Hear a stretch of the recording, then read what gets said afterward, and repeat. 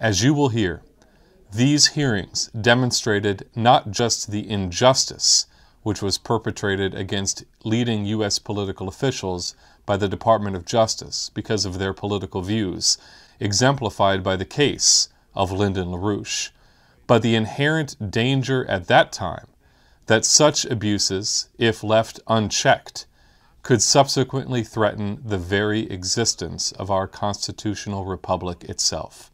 A fight we see playing out today, as we speak, at the very highest level of our government in the form of the attempted takedown of the U.S. presidency. The raid command post about three miles from town was busy all night. Just before dawn, Virginia State Police moved out. It was a combined strike force, including FBI, Internal Revenue Service, Secret Service, and other federal and state agents.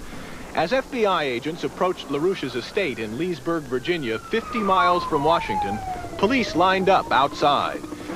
Good evening. Federal and state agents today raided the Leesburg, Virginia headquarters of political activist Lyndon LaRouche. And today it was a law enforcement assault here in Leesburg that set this town buzzing. Scores of state and local police joined federal agents in a coordinated nationwide raid. On October 6, 1986, 400 FBI, state police, IRS, ATF agents, and the national news media descended on Leesburg, Virginia, to search offices associated with the LaRouche political movement.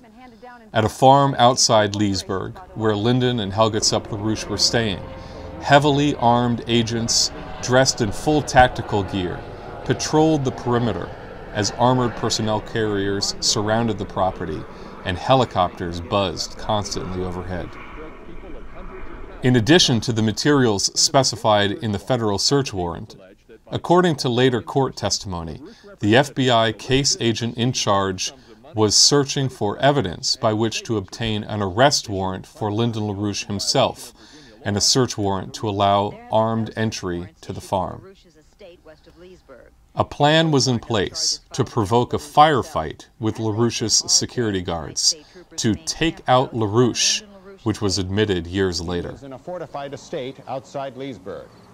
During the evening of October 6th, moves to implement that plan seemed to begin with news stations broadcasting that now an assault was about to occur on the farm. A telegram was sent in LaRouche's name to President Ronald Reagan, seeking his intervention to call off the raid.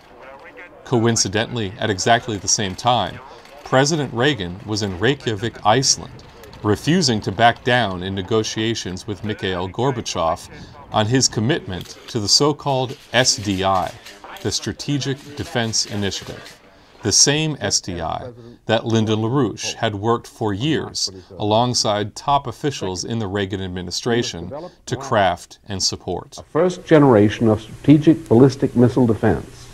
Only after this telegram to Ronald Reagan was sent did the forces surrounding the farm begin to dissipate and recede.